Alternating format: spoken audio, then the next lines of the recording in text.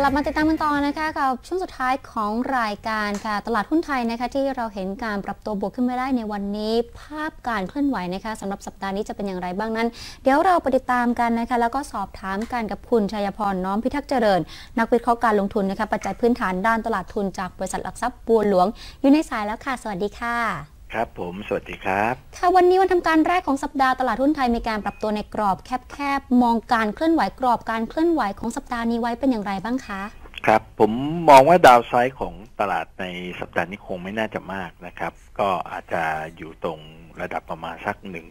1,565 ประมาณนั้นนะครับอ่าด้านบนเองเนี่ยคงจะ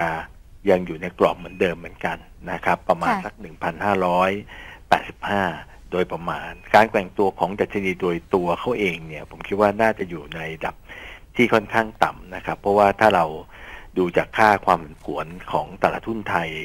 ในช่วงของตั้งแต่ต้นปีเป็นต้นมาเนี่ยณปัจจุบันนี้เราต้องบอกว่าค่าความผันผวนของตลาดหุ้นไทยเนี่ยต่ำสุดในรอบหลาย ๆ ปีนะครับ อาจจะเป็นรอบหลายสิบปีเลยก็ได้นะครับ ก็ถือว่าโดยตัวดัชนีเองไม่ได้มีการเคลื่อนไหวมาก พียงแต่ว่าในส่วนของเม็ดเงินเองก็มีการ rotate นะครับ มีการเคลื่อนย้ายจาก sector หนึ่งไป sector หนึ่งเหมือนเดิมนะครับเอ่อในส่วนของกลุ่มธนาคารเองเนี่ย ตัวเลขออกมาอาจจะค่อนข้างน่าผิดหวังนะครับค่ะแต่ว่าในขณะเดียวกันเอ่อในส่วนของหุ้นที่เอ่ออยู่ใน sector อื่นนะครับเอ่อยังมีในแง่ของตัวเอ่อ ภาพที่เรายังคิดว่าบาง sector เนี่ยอาจจะรายงานผลกำไรออกมาดีนะครับค่ะอย่างเช่นในส่วนของทางด้านกลุ่มเกี่ยวกับอสังหาริมทรัพย์ที่อยู่อาศัยนะครับ เพราะว่าน่าจะมีการปิดโอนเข้ามาค่อนข้างมากนะครับ ตรงนั้นก็จะเป็นส่วนหนึ่งในส่วนของตัวกลุ่มสื่อสารเองเนี่ยเอ่อตัวเลขอาจจะไม่ถึงกับสวยหรูมากนะครับ ที่มีเซอร์ไพรส์ก็เป็นดีแท็ตัวเดียว แต่ว่าด้วยความที่เป็นหุ้นที่ผมคิดว่าเอ่อ มีความเสี่ยงไม่สูงมากนะครับ แล้วก็มีอัตราเงินเป็นผล ในระดับ 4-5เปอร์เซ็นเนี่ยก็เป็นระดับที่ผมคิดว่าเอ่อสถาบันการเงินสถาบันการลงทุนที่มองในเรื่องของยิวหรืออัตราผลตอบแทนเนี่ยค่ะน่าจะยังไม่อยากขายหุ้นกลุ่มเหล่านี้ออกมานะครับ ฉะนั้นโดยตัวของดัชนีเองผมคิดว่าไม่ได้น่ากลัวอะไรนะครับเอ่อโดยข่าวของการพิจารณา ในเรื่องของการดึงสภาพคล่องของเฟดก็ดี หรือการพิจารณาในเรื่องอัตราดอกเบี้ยของเฟดก็ดีเนี่ยผมคิดว่าณเวลานี้เนี่ยตัวเลขต่างๆของสหรัฐเนี่ยมันเริ่มมีลักษณะที่อ่อนตัวลงเรื่อยๆนะครับค่ะแล้วก็โอกาสที่เราจะเห็นการปรับขึ้นอัตราดอกเบี้ยของสหรัฐในปีนี้มากกว่าหนึ่งครั้งเนี่ยมันมันลดลงไปเรื่อยๆนะครับ แม้แต่ว่าเราจะดูในเรื่องของตัวเอ่อ โอกาสที่จะเห็นการปรับขึ้นอัตราดอกเบี้ยในเดือนธันวาค่ะที่คิดว่าน่าจะเป็นหนึ่งครั้งในปีนี้ส่วนที่เหลือเนี่ยนะครับ และเวลาที่เหลือเนี่ย โอกาสก็ยังต่ำกว่า 50%ก็แสดงว่าจริง ๆ แล้วเนี่ยตัวเลขของสหรัฐที่ค่อยๆ ทยอยประกาศออกมาเนี่ย เริ่มทำให้ตลาดเนี่ยลด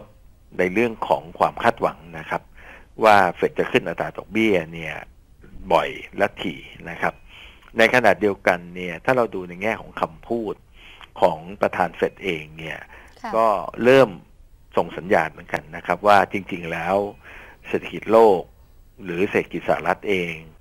กำลังอยู่ในช่วงของการเปลี่ยนแปลงนะครับเอ่อท่ามกลางเทคโนโลยีที่มีการพัฒนาอย่างรวดเร็วเนี่ย เงินเฟ้อเนี่ยอาจจะ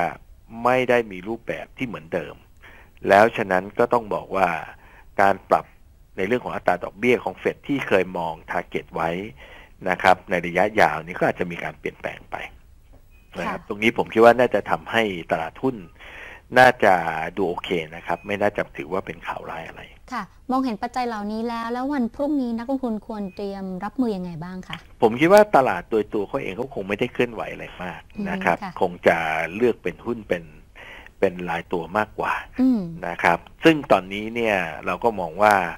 หุ้นที่อย่างต้นวันนะครับ ที่เรามีโอกาสคุยกันในรายการ เรา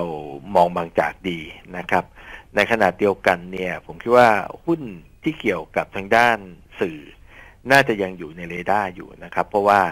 การใช้งบประมาณในการโฆษณาหรือจัดอีเวนต์ต่าง ๆ เนี่ยน่าจะค่อยๆ ปรับตัวดีขึ้นในช่วงครึ่งปีหลังนะครับ ฉะนั้นกลุ่มเหล่านี้น่าจะเห็นในแง่ของตัวอัตราเร่งของกำไรต่างๆค่อยๆยกตัวดีขึ้นนะครับ ก็ตรงนี้ก็จะเป็นกลุ่มที่ยังอยู่ในเรดาร์อยู่ในส่วนของกลุ่มที่เกี่ยวกับ consumer finance ผมคิดว่าก็ยังเป็นกลุ่มที่เราน่าจะเห็นกำไรเติบโตได้ดีอย่างต่อเนื่อง อยู่ที่จังหวะของการซื้อหุ้น ถ้าร้อนแรงเกินไปแล้วก็เผาๆลงหน่อยแค่นั้นเองครับ ค่ะได้ค่ะ วันนี้ขอบคุณมากนะคะสำหรับข้อมูลค่ะ ครับ สวัสดีครับ ขอบสวัคุสณดีครับค่ะไปติดตามกันต่อนะคะในช่วงของรอว